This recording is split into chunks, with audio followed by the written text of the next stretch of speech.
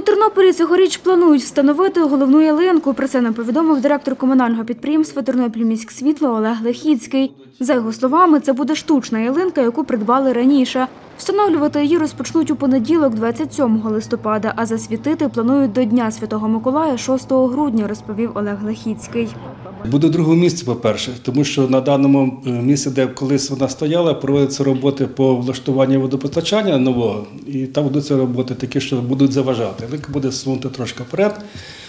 Ілюмінація та сама, що була 4 роки назад.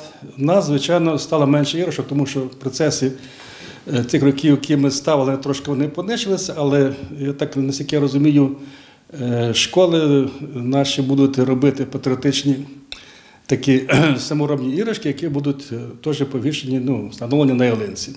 За словами Олега Лехіцького, на встановлення головної ялинки грошей з місцевого бюджету витрачати не будуть. Витрати на електроенергію погодилися оплатити підприємці Тернополя. Чоловік розповів, що за приблизно півтора місяця у попередні роки на електрику витрачали до 8 тисяч гривень.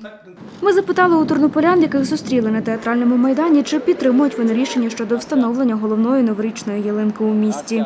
Я вважаю, що українцям треба трошки підтримати в такий важкий час новорічний такий різдвяний настрій, тому напевно так. Я думаю, нічого поганого в цьому не бачу. Ну, все рівно вдома кожен це зробить, мабуть. Що. Напевно, що напевно, що більше нічим так. Я думаю, що хоча б заради е, діток робити їм хоча б якесь таке ну, мінімальне свято для них. Не варто однозначно ставити, коли в країні йде війна. Краще ці гроші спрямувати на армію. Я проти. Це не час для святкування.